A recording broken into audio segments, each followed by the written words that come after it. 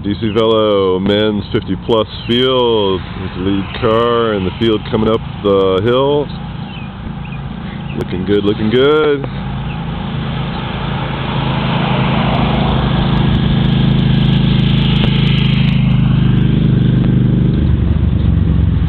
All right, all right.